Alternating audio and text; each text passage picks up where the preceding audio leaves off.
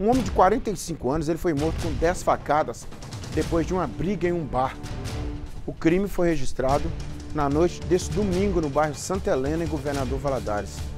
O Ivan Duarte está chegando com detalhes desse homicídio. Ô Ivan, 10 facadas é o que aponta a ocorrência policial. Você vai falar sobre essa violência aqui em Governador Valadares. Boa tarde, meu amigo. Isso mesmo, amigo. Foram 10 facadas, sendo seis nas costas, três no pescoço e uma no ombro. Boa tarde para você também, boa tarde a todos que assistem ao Balanço Geral.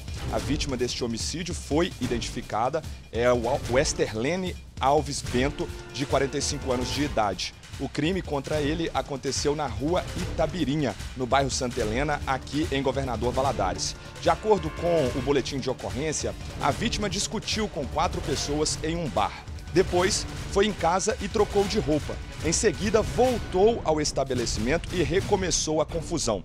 Ao ameaçar e ser ameaçado, ele acabou fugindo em uma motocicleta, mas foi perseguido, bateu contra um carro e, quando caiu, recebeu as facadas. A Polícia Militar conseguiu prender quatro suspeitos de participação nesta ocorrência. Chama a atenção a participação, né, o suspeito de ter participado dessa, deste homicídio, duas mulheres. Nicomedes, como eu disse, então, a vítima identificada, Westerlene Alves Bento.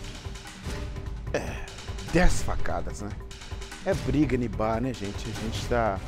O Antônio fez a saudação saudação à turma do carnaval aí, né? Desejando bom carnaval, mas a gente sabe que nesse ambiente assim de bebida, uma discussão fica mais difícil de ser solucionada, né? Aí vai para a base da violência. Dez facadas dos caras.